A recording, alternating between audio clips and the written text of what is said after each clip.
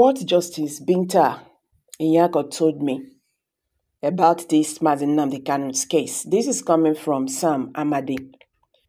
Sam Amadi is the director of the Abuja School of Social and Political Thought.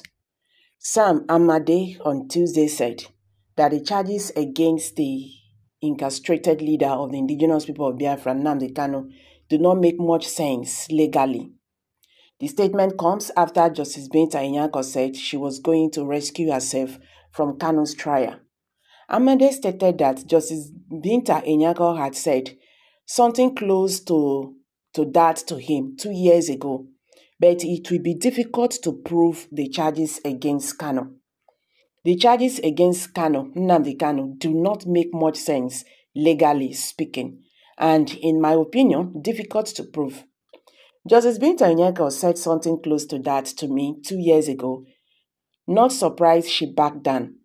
It is a political trial in the guise of a legal trial. End it.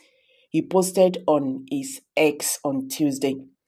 So, guys, you can now understand uh, the reason why Justice Nyako was like, wow, Nnamdi Kanu have done me a very good, a very good, a very good to me. You understand? All this while she has been looking for a way to opt out from this case. As you can see, the Nigerian government just wants to punish Mazi Nnamdi Kanu. They know. They have no case. They have no case against him. You understand? They know they have no case against him.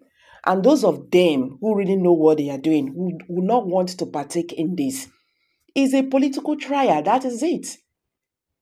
It's a political trial. How can someone say Someone who has been discharged by your own court, you say this person committed crime against the Nigerian government.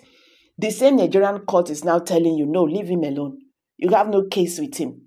You understand? The same Nigerian court asks you to pay this man compensation. You say no, you not agree. You go follow him.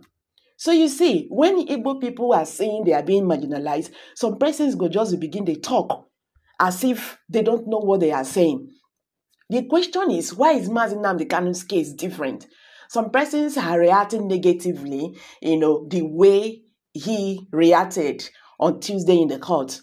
The man is he just like a frustrated person. Just you know the truth. You are not doing the right thing. What exactly is going on? Are we okay? That is the reason why he reacted the way he reacted. High Court, I've told you no. This guy did not jump jump jump bail. These are one of the charges against him.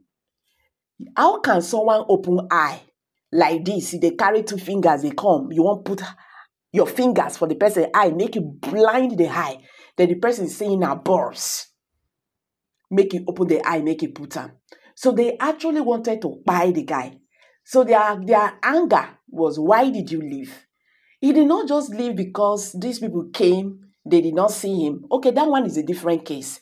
This issue we are talking about, the invasion of Nigerian government to his house in that 2027 took the lives of 28 persons that very deadly night. And that was what led to the, the parents' death. You know, the kind age people now, they can't they can't see the kind of a thing they're not supposed to see at that their age. That was what led to their early grave at that time.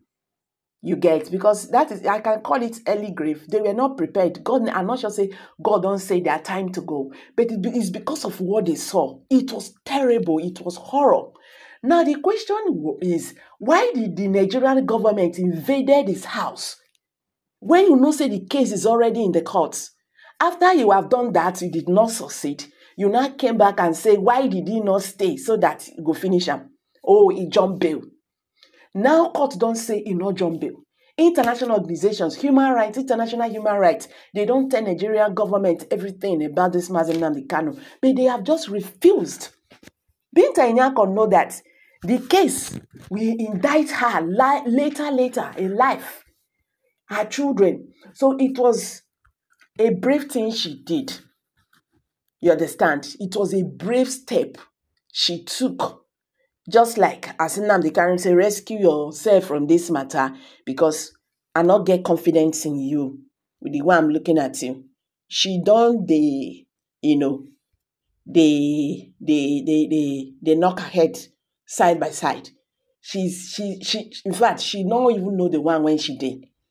It was just like a miracle for her to live. Don't also forget that this judge is the third person they have withdrawn from Nnamdi Kanu's trial.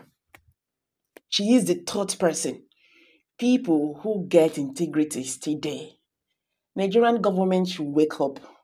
You understand? The younger ones, they are watching us. They are seeing what we are doing. This is no longer a country.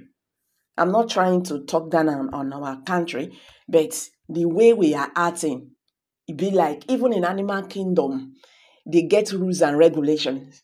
When you enter somebody territory like that, unprovoked, you go collect. uh So before somebody go attack you, you go get the reason why. But here, things are just done anyhow.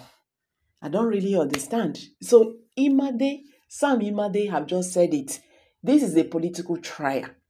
Now the question is, what is the Southeast leaders doing? Because all of them, they are aware, they know. What are their roles in this issue? So very unfortunate. I'm dropping it here, guys. Kindly drop your comments below the comment section, please. Don't forget to give us a thumbs up, share this video, let it go viral. Let Nigerians understand what is happening today in the Nigerian political landscape. Thank you and bye for now.